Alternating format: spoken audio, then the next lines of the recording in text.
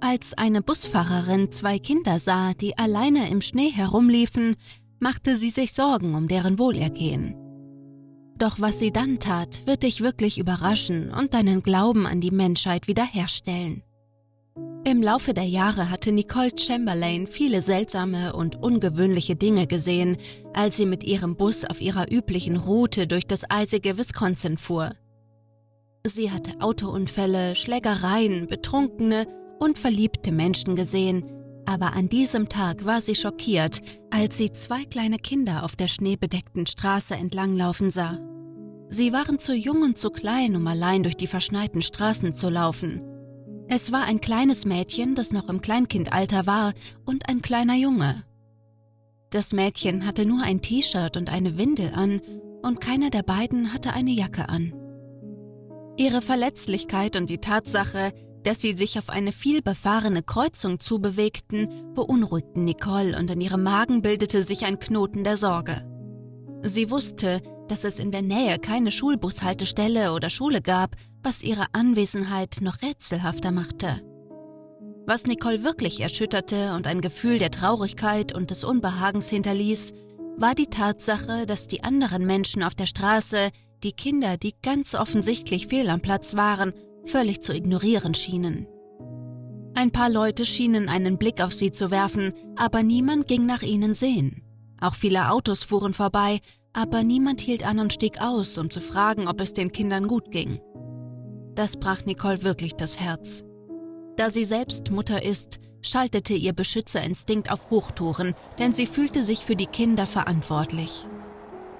Sie ignorierte das Stöhnen einiger Fahrgäste in ihrem Bus und das wütende Hupen der vorbeifahrenden Autos, die nicht wussten, warum der Bus in einem nicht ausgewiesenen Bereich hielt, und beschloss sofort zu handeln. Mit besorgtem Gesichtsausdruck fragte Nicole die Kinder sanft, ob es ihnen gut ginge, und ihre Stimme klang beruhigend in der frostigen Atmosphäre. Mit ihren zerbrechlichen Stimmen, die im Winterwind kaum zu hören waren, erklärten sie mit klappernden Zähnen, dass sie verzweifelt auf der Suche nach ihrer geliebten Großmutter waren. Sie hatten ihr Haus vor einiger Zeit verlassen und konnten es unter all dem Schnee nicht mehr finden. Die Unschuld in ihren Augen zerrte an Nicoles Herz und veranlasste sie, für ihre Sicherheit zu sorgen. Verwirrt von ihrer seltsamen Situation suchte Nicole die Umgebung ab wobei ihre Augen von einer Ecke zur anderen huschten, in der Hoffnung, einen Blick auf ihre vermisste Großmutter zu erhaschen. Doch in der einsamen Winterlandschaft war keine vertraute Gestalt zu sehen.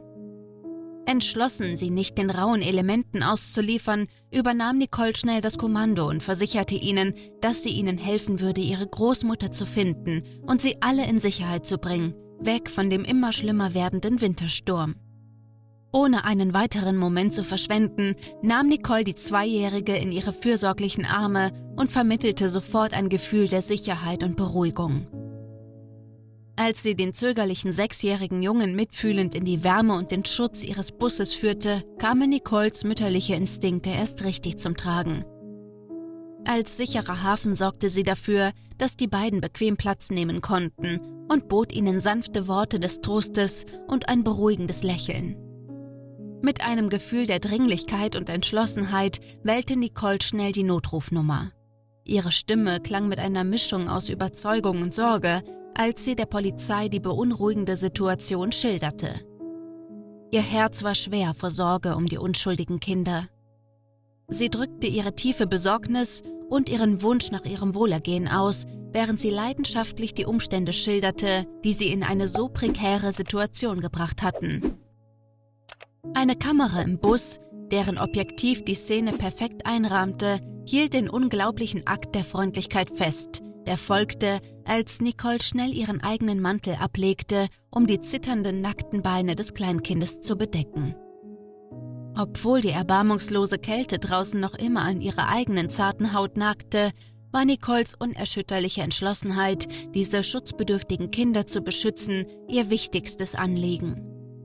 Die verschiedenen Fahrgäste im Bus konnten nur staunend und mit bewundernden Augen zusehen, wie ihre Busfahrerin das kleine Mädchen und ihren Bruder furchtlos und selbstlos vor dem unbarmherzigen, eisigen Wetter draußen schützte und ihnen stattdessen ein wenig Wärme und Liebe schenkte.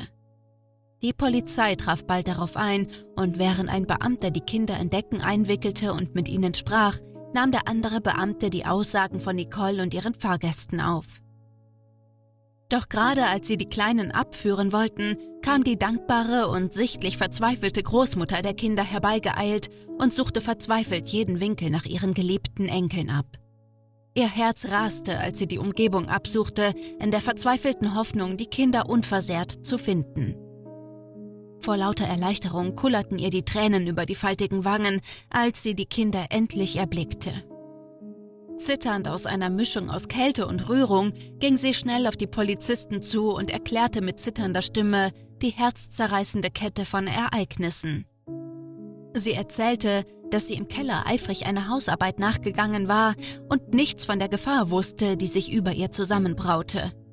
Es war eine unvorstellbare Fügung des Schicksals, dass ihre jüngste Enkelin es geschafft hatte, nach draußen in den Schnee zu laufen und dass ihr ältester Enkel, getrieben von einem unerschütterlichen Sinn für Loyalität, ihr dicht auf den Fersen war.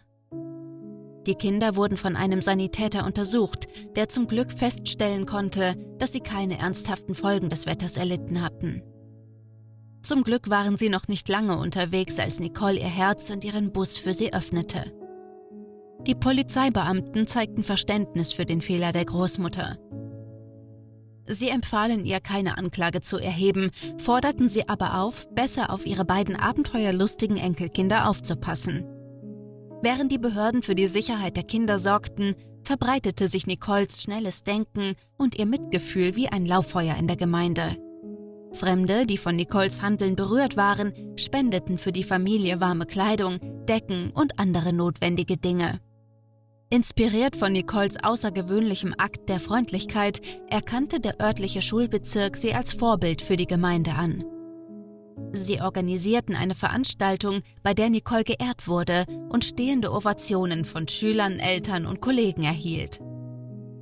Bei den meisten dieser Veranstaltungen sprach Nicole über die Seite der Geschichte, die sie am meisten verletzte, nämlich die Tatsache, dass niemand außer ihr den Kindern zur Hilfe gekommen war. Sie bedauerte, dass die Gemeinschaft nicht so stark war, wie sie es hätte sein sollen, und dass die Menschen es vorgezogen hatten, ungestört ihren Tag zu verbringen, anstatt zwei extrem verletzlichen Kindern zu helfen. Nicoles Geschichte hatte nicht nur auf das Leben der Kinder, die sie gerettet hat, einen bleibenden Einfluss, sondern auch auf die gesamte Gemeinschaft. Sie erinnerte uns alle daran, dass ein einziger Akt der Freundlichkeit eine Kettenreaktion des Mitgefühls auslösen kann und uns daran erinnert, wie wichtig es ist, aufeinander aufzupassen. Nicoles Selbstlosigkeit wurde zu einem Symbol der Hoffnung und Einheit, das beweist, dass es selbst im kältesten Winter immer warmherzige Menschen gibt, die bereit sind, etwas zu bewegen. Und jetzt bist du dran. Was hältst du von dieser erschütternden Geschichte? Was hättest du getan, wenn du die beiden armen Kinder auf den eisigen, verschneiten Straßen gesehen hättest? Wie immer freuen wir uns, wenn du uns deine Meinung mitteilst. Also hinterlasse uns deine Gedanken und Meinungen unten in den Kommentaren.